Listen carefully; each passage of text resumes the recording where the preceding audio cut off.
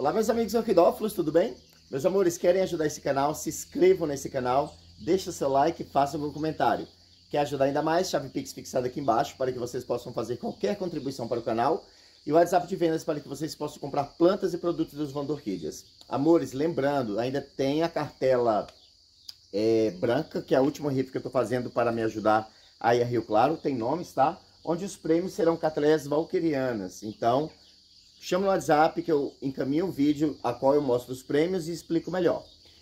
Meus amores, no comentário fixado também vai haver o, o link do vídeo da Trindade, que é o cultivo das orquídeas através da luminosidade, substrato e regas, tá? E o adubo, ele entra em quarto plano porque ele é de suma importância.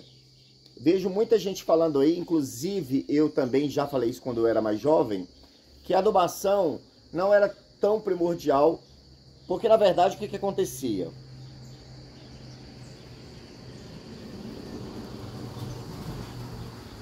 Eu trabalhava em exposições de orquídeas com Mauro Lúcio Pires, em Belo Horizonte. Eu tinha 20 e poucos anos de idade, eu era muito jovem.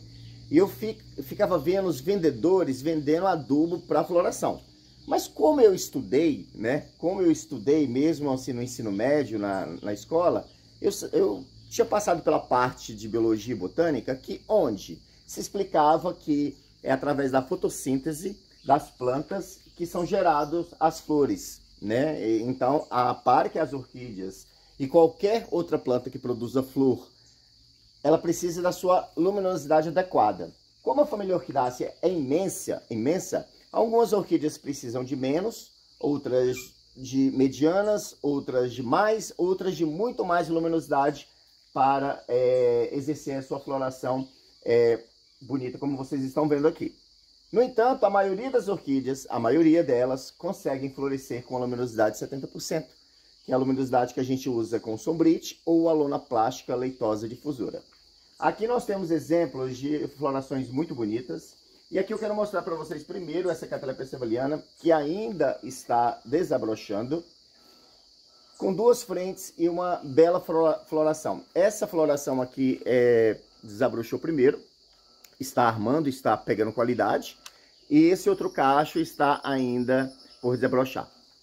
Quando eu voltar de Valadares, que eu vou passar o dia das, minha, das mães com a minha mama, falando nisso, abracem suas mães, digam que as amam, enquanto é tempo, enquanto pode, porque nesse mundo a gente não sabe o dia de amanhã.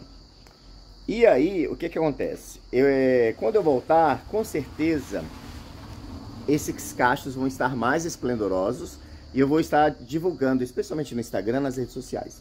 Tá. Mas por que, que eu estou mostrando essa planta? Essa planta ela poderia estar com uma frente só, ela poderia estar apenas com cacho de flor, com duas, três flores, mas aqui, com o tratamento que as minhas plantas recebem, certo? E, especialmente, a luminosidade que favorece essa floração e o up que o adubo dá. A, a, minha mistura, quando as pessoas compram, elas recebem em casa, né? Elas podem pensar assim, nossa, que chifrinho, que pobre, vem numa sacolinha transparente amarrada. Não importa. Não importa a embalagem que o adubo vai chegar na sua casa. Pode chegar numa embalagem de ouro, mas será que vai dar resultado? Pensa bem. Uma embalagem, uma sacola, você joga fora.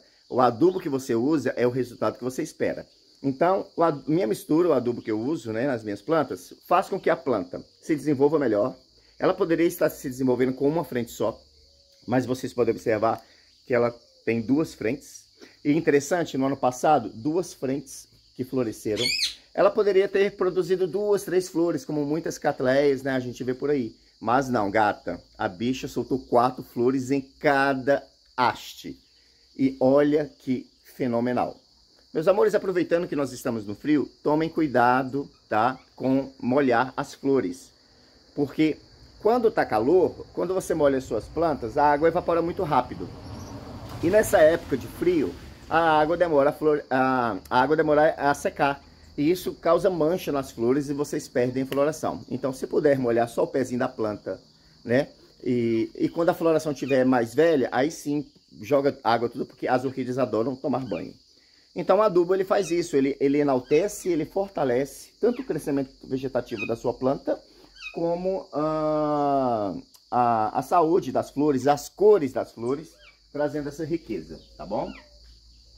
Aqui, meus amores, deixa eu ver se tá aparecendo para vocês as minhas Schomburg Gloriosa Alba. Isso daqui, gente, é algo assim fantástico. Olha só que coisa mais linda. Eu trouxe só esses dois vasos. Mas na verdade eu tenho quatro vasos dessa planta, né? E aqui, ó, Schomburg Gloriosa Alba, Cattleya gutata Alba. Cruzando essas duas plantas, gera um híbrido que existe na natureza, tá? E ano passado, hoje tá demais. E olha que não são nem 7 horas da manhã. Na roça, essa barulheira toda. E ano passado, retrasado, eu fiz o cruzamento dessas duas plantas para gerar um possível híbrido natural, né, com a forma alba. Aqui nós temos a nossa Cattleya Ster, que é híbrido primário de Cattleya é, máxima com Cattleya harrisoniana. Essa planta eu vou tentar pegar para mostrar para vocês porque vale muito a pena.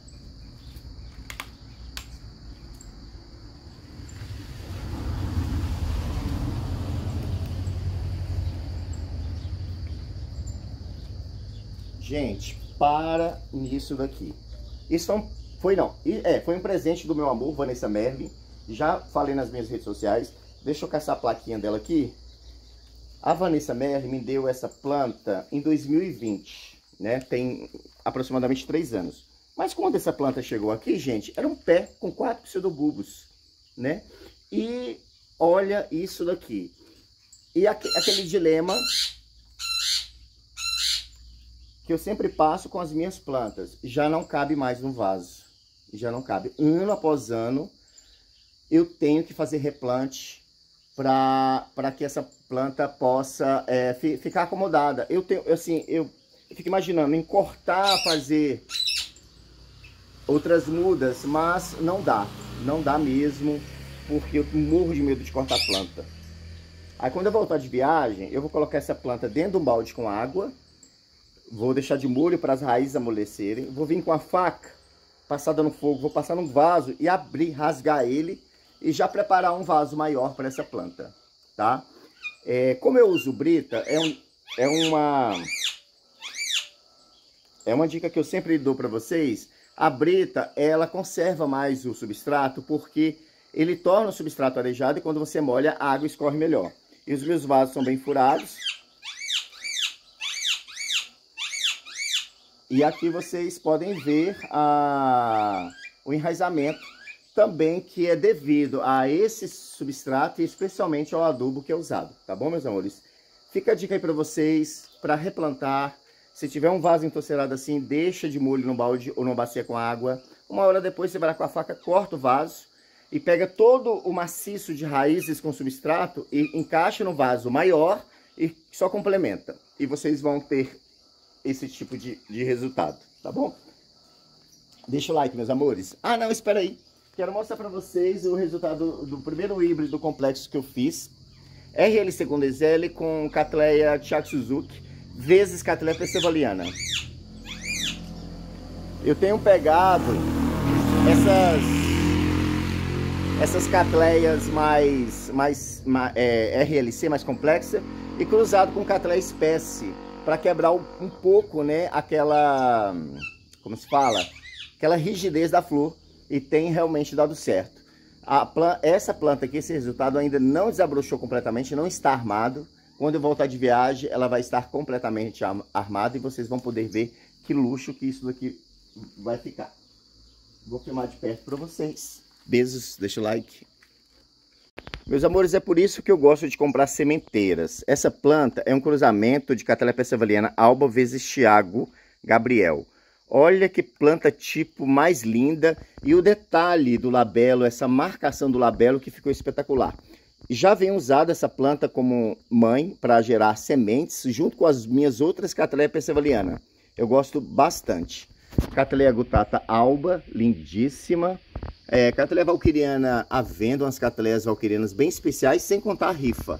Gente, olha essa semialba, que fantástica, essa cataleia semialba. E aqui a minha cataleia Esther, que está babado, correria e confusão. Vou descer a floração aqui da Schomburger Gloriosa Alba. Ah, geralmente a espécie tem uma coloração marrom, as pétalas e sépalas e o labelo rosadinho. A forma alba é um escândalo. Beijos!